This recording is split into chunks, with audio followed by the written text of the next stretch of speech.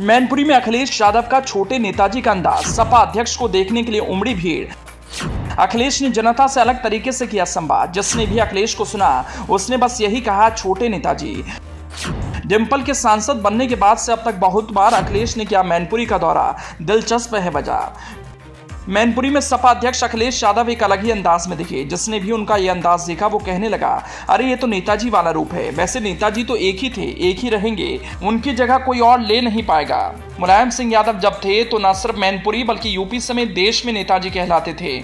और जब वो इस दुनिया में नहीं रहे तो भी नेताजी ही कहलाते हैं। इसीलिए मैनपुरी के लोग अखिलेश को अब कहने लगे, छोटे नेताजी, अखिलेश के लिए मैनपुरी सिर्फ़ एक संसदीय सीट नहीं, बल्कि जज्बातों से सजी ढेर सारी अच्छी यादों का संसार है। इसीलिए अखिलेश बार बार वहाँ जाते हैं बार बार लोगों के बीच अपनी उपस्थिति दर्ज कराते हैं। कुछ अपनी बात कहते हैं, कुछ उनके दिल की बात सुनते हैं। इस बार भी अखिलेश मैनपुरी में बिल्कुल ही अलग अंदाज में दिखे। ये ढेर सारी तस्वीरें इस बात की गवाही दे रही हैं। अखिलेश के इस अंदाज में सपा संस्थापक मुलायम सिंह यादव का अक्ष दिखता है। मुलायम भी तो जनता के बीच इसी अंदाज में दिखते थे। कभी उनके बीच बैठ जाते थे, कभी गली गली घूमकर लोगों से बात करते, कभी चौपाल लगाकर जनता की समस्याओं को सुना करते।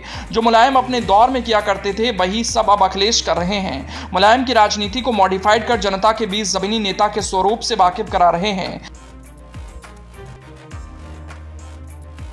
सपा अध्यक्ष अखिलेश की तस्वीरें सोशल मीडिया पर वायरल हो रही हैं, जिसमें सपा प्रमुख से मिलने के लिए मैनपुरी में लोगों का हुजूम उमड़ पड़ा। अखिलेश यादव ने मैनपुरी में सपा कार्यकर्ताओं के बीच चौपाल भी लगाई और उनके साथ चर्चा करते हुए नज़र आए। यही नहीं, अखिलेश को मैनपुरी की गलियों में भी देखा गया। इस दौरान अखिलेश यादव ने लोगों को यह बताने में देर नहीं लगाई। बीजेपी सरकार को जनता की परेशानी से कोई वास्ता नहीं। वैसे देखेंगे तो मैनपुरी लोकसभा उपचुनाव में डिम्पल यादव की जीत के एक महीने के भीतर ही अखिलेश ने करीब छह बार निर्वाचन क्षेत्र का दौरा किया था। इस दौरान अखिलेश ने वहाँ कम से कम दस दिन गुजारे। ये बात भी दिगर है। मैनपुरी लोकसभा उपचुनाव के लिए कैंपेन करने के दौरान भी अखिलेश और उनके परिवार के अहम लोगों ने मैनपुरी में बीस दिन गुजारे और ताबातोड़ प्रचार किया था। यादव परिवार का पैतृक घर भी सफ़ाई में है, जो मैनपुरी निर्वाचन क्षेत्र में आता है। यहीं से मुलायम सिंह यादव साल 2019 में लोकसभा के लिए चुने गए थे।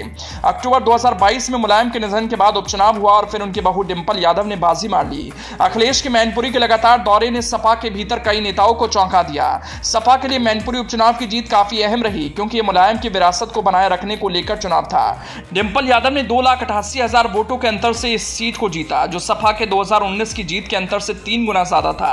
तो ऐसे में सवाल यह है कि अखिलेश बार बार मैनपुरी क्यों आ रहे हैं? क्यों मैनपुरी के लोगों के लिए अखिलेश छोटे नेताजी बन गए? इसकी गवाही ये तस्वीरें दे रही हैं। सपा संस्थापक मुलायम सिंह यादव को गुजरे करीब एक साल के आसपास हुआ।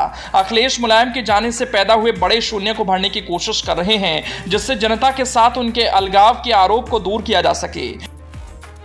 मुलायम सिंह यादव लोगों से आमने सामने मिलते थे और नियमित रूप से मैनपुरी आते थे क्योंकि उनका निर्वाचन क्षेत्र था और उनका गृह क्षेत्र भी था। लोगों के साथ उनका व्यक्तिगत जुड़ाव ही उनकी ताकत था, जिसने कन्नौज इटावा फिरोजाबाद और ईटा जैसे आसपास के यादव बहुल निर्वाचन क्षेत्रों में पार्टी को मज़बूत रखा।